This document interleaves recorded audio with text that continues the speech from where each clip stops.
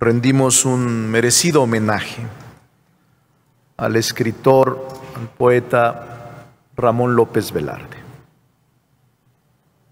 Gran poeta de la literatura nacional, que con cada una de sus letras dio pie a la poesía moderna contemporánea. Hoy recordamos los 100 años de la ausencia física de este poeta inolvidable. A 100 años de distancia, hoy el Senado de la República le rinde un merecido y quizá tardío homenaje.